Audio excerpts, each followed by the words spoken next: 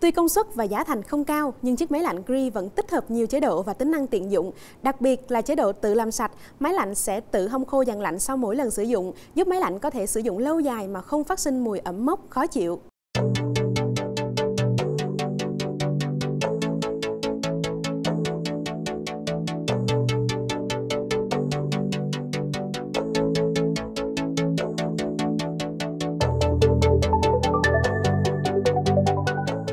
Ngày nay thì việc mua máy lạnh đã không còn quá khó khăn bởi vì là giá của nó thì rất là dễ tiếp cận.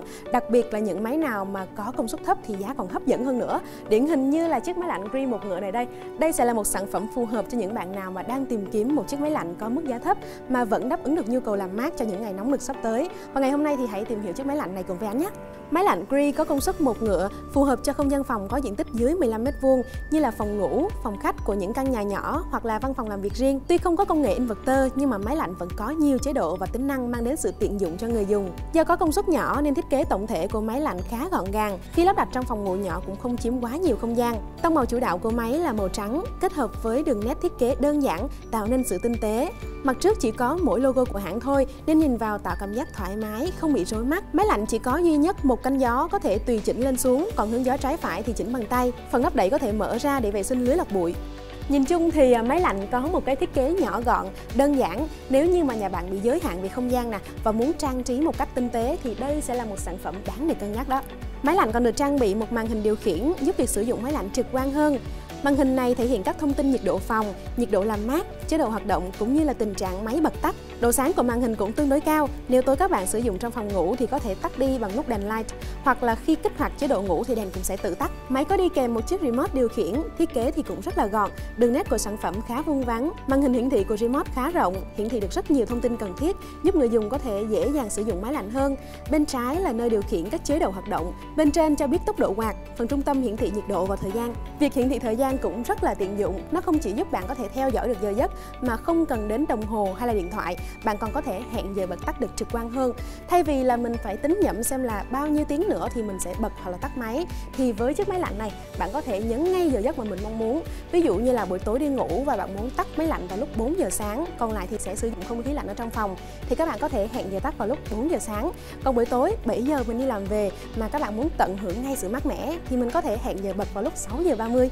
Điểm hạn chế của chiếc remote chính là bạn không thể tùy chỉnh chủ động được giờ hoặc là phút mà phải chỉnh lần lượt cho thời gian tăng lên hoặc giảm đi bằng cách nhấn và giữ phím cộng trừ khi thiết lập. Khi nhấn giữ thì ban đầu số phút chỉ tăng lên một đơn vị, nhưng về sau thời gian sẽ nhảy với khoảng cách lớn hơn, giúp việc tùy chỉnh sẽ nhanh hơn một chút. Máy lạnh còn có các chế độ hoạt động phổ biến phục vụ cho nhiều nhu cầu sử dụng khác nhau. Ví dụ như là các bạn muốn mọi thông số được tự động, không quan tâm quá nhiều về việc nhiệt độ bao nhiêu thì có thể để chế độ tự động. Các thông số sẽ do nhà sản xuất thiết lập sẵn. Nhưng thường thì mình sẽ không sử dụng chế độ này mà mình sẽ chọn luôn chế độ làm mát. Và chế độ này thì nó sẽ có hình hoa tuyết và với cái thời tiết của miền Nam nước ta thì chế độ này nó sẽ rất là phù hợp cho những ngày nắng nóng, oi bức. Nhiệt độ làm mát từ 16 đến 30 độ, phù hợp cho nhiều sở thích và nhu cầu làm mát khác nhau. Ngoài ra thì với những ngày mà không khí ẩm ướt như là những ngày mưa thì sẽ có chế độ làm khô. Chế độ này sẽ giúp làm giảm độ ẩm trong không khí và cơ thể của chúng ta cảm thấy thoáng mát hơn. Chế độ này sẽ luôn để quạt ở mức thấp nhất và cuối cùng là chế độ quạt. Đôi khi cuối năm thì khí hậu cũng trở nên mát mẻ, chỉ cần quạt để không khí trong phòng được đối lưu. Nếu chỉ có quạt hoạt động thôi thì sẽ tiết kiệm điện năng hơn.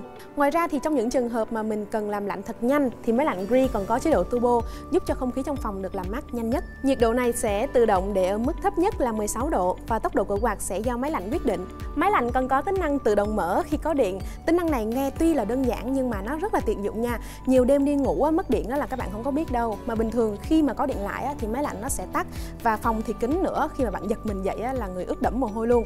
Còn riêng với cái máy lạnh Gree này á thì khi mà có điện nó sẽ tiếp tục hoạt động giúp cho không khí trong phòng được mát hơn và giấc ngủ của bạn sẽ được sâu và liền mạch hơn. Ngoài ra thì à, khi mà sử dụng một thời gian dài á, máy lạnh sẽ xuất hiện mùi hôi. Điều này là do nước động lại ở bên trong dàn lạnh khiến cho vi khuẩn và nấm mốc phát sinh gây ra mùi hôi. Để ngăn ngừa tình trạng này thì các bạn phải vệ sinh máy lạnh thường xuyên hoặc làm dàn lạnh khô sau mỗi lần sử dụng.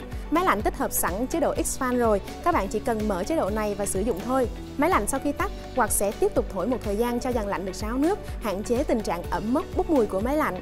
Dàn nóng hay còn được gọi là bộ phận ngoài trời của máy lạnh, ngay cái tên cũng biết là thiết bị hoạt động trong điều kiện khắc nghiệt như là gió nè, nắng nè, bụi và mưa. Hệ thống tản nhiệt được phủ lớp mạ vàng gofin để hạn chế tình trạng ăn mòn và chống oxy hóa, giúp thiết bị bền bỉ hơn, hiệu suất trao đổi nhiệt duy trì tốt hơn. Với thiết kế nhỏ gọn cùng với công suất thấp thì chiếc máy lạnh Gree một ngựa này sẽ phù hợp với những không gian phòng có diện tích nhỏ, ví dụ như là phòng ngủ, phòng khách nhỏ và máy thì có đầy đủ những tính năng cần thiết, mang lại sự tiện lợi cũng như là đáp ứng được nhiều nhu cầu làm mát khác nhau. Ngoài ra, nếu như mà các bạn đang ở nhà trọ nè, nhà cho thuê, căn hộ dịch vụ dưới 15 m2, khi thuê thì mình chưa có nội thất thì chiếc máy lạnh này sẽ là một sự lựa chọn phù hợp khi mà cái chi phí đầu tư ban đầu nó không quá cao. Đổi lại thì các bạn sẽ có được một chiếc máy lạnh có một cái ngoại hình khá là xinh xắn nè, nhỏ gọn và làm mát tốt nữa. Và với cái thời tiết mà ngày càng nắng nóng như hiện nay thì anh nghĩ là nếu mà mình có điều kiện thì nên lựa chọn cho bản thân một chiếc máy lạnh, bởi vì là giá của nó thì rất là ổn áp và giá là bao nhiêu thì mình sẽ cập nhật ngay ở trong phần mô tả. Cảm ơn các bạn đã theo dõi video ngày hôm nay. Đừng quên cho mình và ekip một like và subscribe nha. Xin chào và hẹn gặp lại.